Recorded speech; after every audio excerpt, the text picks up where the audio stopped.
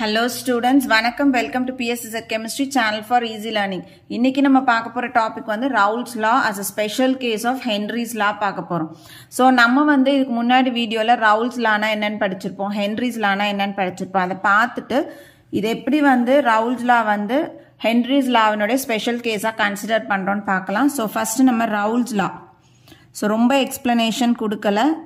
Lana என்ன மட்டும் நம்ம சொல்ல போகிறோம் ஸோ ரவுல்ஸ் லா படிக்கும்போது நம்ம பைனரி சொல்யூஷன்ஸுக்கு படித்தோம் பைனரி சொல்யூஷன்ஸ் அப்படின்னா என்ன? ரெண்டே ரெண்டு காம்பனண்ட் இருக்க போகுது. ஒரு சொல்யூட் ஒரு சால்வெண்ட் இருக்க போகுது. ஸோ இந்த இடத்துல சொல்யூட்டும் நம்ம லிக்விடாக எடுத்துக்கிட்டோம். சால்வெண்ட்டும் நம்ம லிக்விடாக எடுத்துக்கிட்டோம். ஸோ ரெண்டுமே பார்த்தோன்னா they are volatile in nature volatile அப்படின்னா என்ன அர்த்தம்? ஹீட் பண்ணும்போது வேப்பர் ஃபே ஃபார்முக்கு போகுது அப்படின்னா அதை வொலட்டைல் ஸோ எடுத்துக்கிட்ட ரெண்டுமே வேப்பர் ஃபேஸுக்கு போகக்கூடிய நேச்சர் இருக்கிறது. இப்போ இதில் இதை காம்பனண்ட் ஒன்னு எடுத்துக்கிறோம் இதை காம்பனண்ட் டூன்னு எடுத்துக்கிறோம். ஸோ ரவுல்ஸ்லா அப்படின்றது நமக்கு வந்து பார்ஷியல் ப்ரெஷரையும் மோல் ஃப்ராக்ஷனையும் ரிலேட் பண்ணி கொடுக்கக்கூடியது.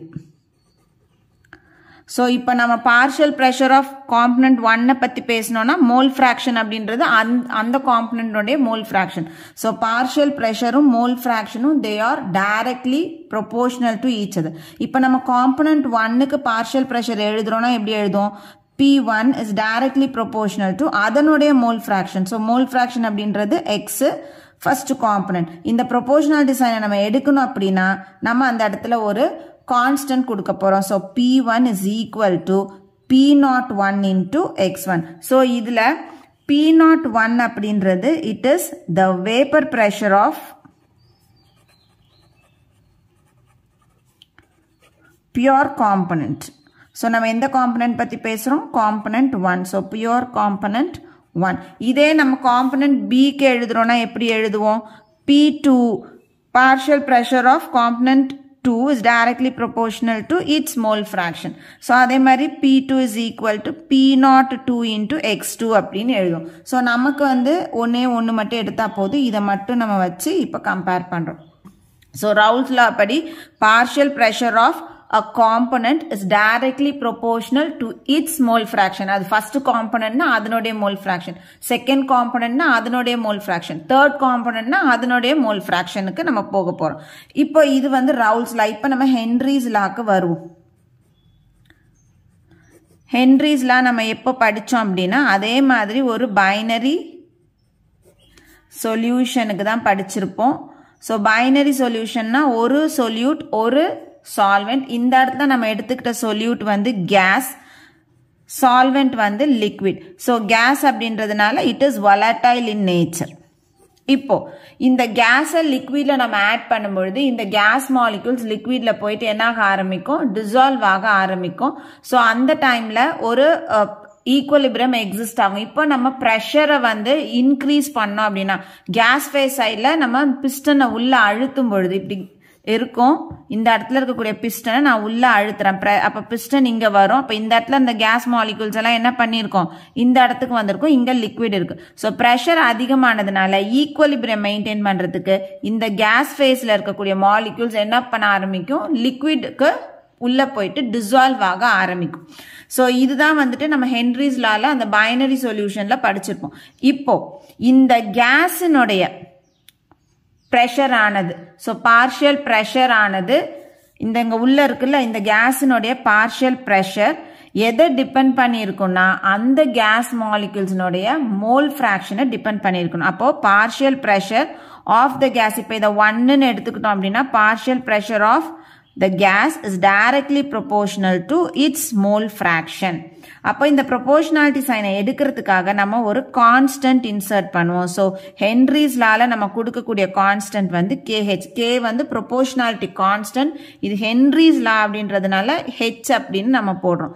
இன்டூ எக்ஸ் ஒன் ஸோ இது வந்துட்டு இது நமக்கு தெரியும் பார்ஷியல் ப்ரெஷர் இங்கே எப்படி சொன்னமோ partial pressure is directly proportional to mole fraction சொன்னமோ இங்கேயும் அதே தான் partial pressure is directly proportional to mole fraction இந்த இடத்துல கேஹெச் அப்படின்றது ஹென்ரி லா கான்ஸ்டன்ட் ஸோ இப்போ நம்ம இதை பார்க்க போகிறோம் நம்ம ஜென்ரலாக எப்படி எழுதுவோம்? இந்த மாதிரி காம்பனண்ட் ஒன் டூன்லாம் எழுதாமல் ஹென்ரிலால partial pressure is directly proportional to mole fraction therefore partial pressure is equal to KH into x அப்படின்னு எழுதும். ஸோ இதுதான் வந்து ஜென்ரல் ஃபார்முலா ஸோ இந்த இடத்துல நம்ம கம்பேர் பண்ணுறதுக்காக நான் என்ன பண்ணியிருக்கேன் இதை ஒன்றுன்னு கொடுத்து இந்த மாதிரி எழுதியிருக்கேன். அவ்வளோதான் மற்றபடி எல்லாமே ஒன்று இப்போ நம்ம இந்த ரெண்டு லாவினுடைய இந்த பார்ஷியல் ப்ரெஷர் ஃபார்முலாவை பார்ப்போம். ஸோ இங்கே தனியாக அதை நான் எழுதி காமிக்கிறேன்.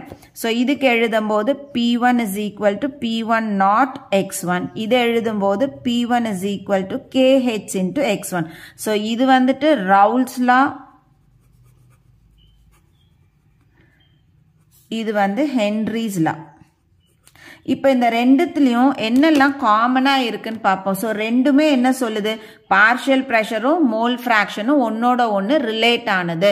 பார்ஷியல் ப்ரெஷர் இன்க்ரீஸ் ஆகுது மோல் ஃப்ராக்ஷன் இன்க்ரீஸ் ஆகும். மோல் ஃப்ராக்ஷன் டிக்ரீஸ் ஆகுது பார்ஷியல் ப்ரெஷர் டிக்ரீஸ் ஆகும். அதை தான் இந்த ரெண்டு லாவும் நம்மளுக்கு கொடுக்குது. ஆனால் இந்த ரெண்டு லாவும் ஒரே ஒரு இடத்துல வேரி ஆகும். எதில் வேரி ஆகுதுன்னு பார்ப்போம். இதுவும் இதுவும் ஒன்று மோல் ஃப்ராக்ஷன் மோல் ஃப்ராக்ஷன் ஒன்று ஸோ எதில் மட்டும் ரெண்டும் வேரி ஆகுது? இந்த கான்ஸ்டன்ஸில் மட்டும் வேரி ஆகுது. இதில் வந்துட்டு நம்ம கான்ஸ்டண்ட்டாக என்ன எடுத்துக்கிறோம்?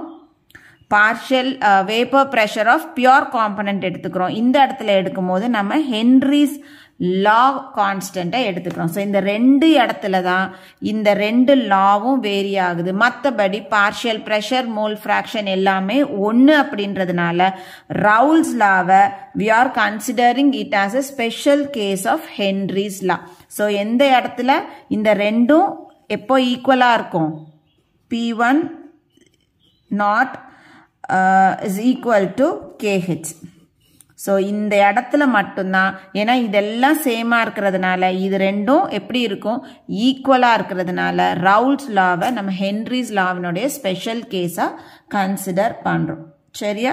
ஸோ இது வந்து ரொம்ப ரொம்ப ஒரு முக்கியமான பாட்டு எங்கே வந்து ரவுல்ஸ் லா வந்து ஹென்ரிஸ் லாவுக்கு ஹென்ரிஸ் லாவினுடைய ஸ்பெஷல் கேஸ் ஆகுது அப்படின்னு பார்த்தோன்னா இந்த இடத்துல மட்டும்தான். So vapour pressure of pure component is equal to the Henry's law constant எப்போ? இந்த பார்ஷியல் ப்ரெஷர் மோல் ஃப்ராக்ஷன் எல்லாம் சேமாக இருக்கும் பொழுது. ஸோ இந்த வீடியோ உங்களுக்கு யூஸ்ஃபுல்லாக இருந்திருக்கும்னு நினைக்கிறேன். வீடியோ பிடிச்சிருக்கு அப்படின்னா லைக் பண்ணுங்கள் கமெண்ட் பண்ணுங்கள் ஷேர் பண்ணுங்கள் மறக்காமல் சேனலை சப்ஸ்கிரைப் பண்ணுங்கள் தேங்க்யூ